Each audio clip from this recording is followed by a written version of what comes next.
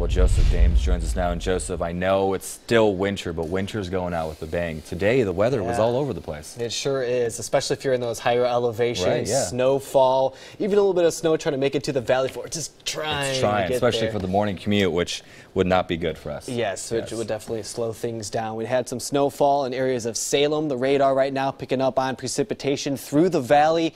It could be a little bit of a busy start for your morning commute, depending on if we see some snowfall through the lower valley. At this time, I don't think it's going to quite reach the floor, which is good news for the morning commute. But if you're in those higher elevations, it's definitely possible. Snowfall through the Cascades as well as the Coast Range, the Central Coast Range. If you're pushing down towards areas like McMinnville into the higher elevations there, that's where a lot of this heavier snow has been over the last few hours. Rain for Portland down to Lake Oswego, Clackamas. We've had some reports of snowfall at Eagle Creek, elevation about 700, 750, give or take.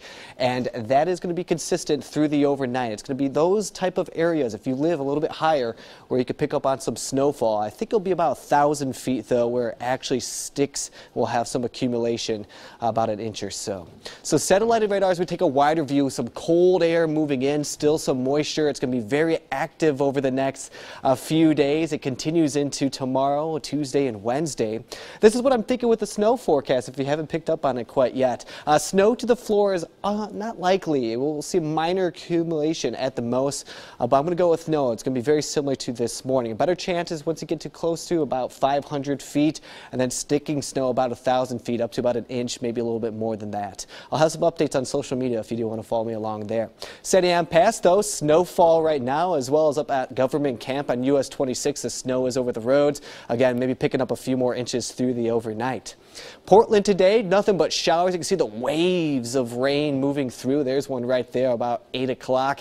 And then we had some clearing and then some more rain. So very scattered, and that's what we're noticing right now here at 11 o'clock. Some wet roads, and that will probably be likely as we go into tomorrow morning, too. So overnight, about 34 degrees. A rain snow mix is possible, but again, uh, the wind is running out of the south, southwest. That could keep temperatures up a little bit warmer. Sending the kids off to the school bus tomorrow. Just get them prepared and get them ready for a little bit of rain. Temperatures right around 32 to 36 degrees. And then riding home, it's going to be warmer, maybe some sun breaks out there too, but uh, still a chance for some rain showers for the afternoon as well.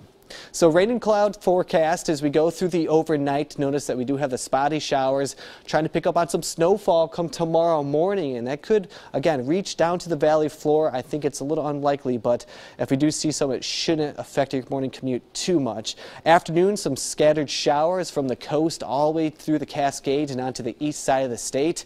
Uh, that will be on and off through our Monday evening and night too. And then look at this. We can't catch a break. We're dry for maybe about 10 minutes and then rain returns as we go into Tuesday morning and into Tuesday afternoon. Heavy precipitation.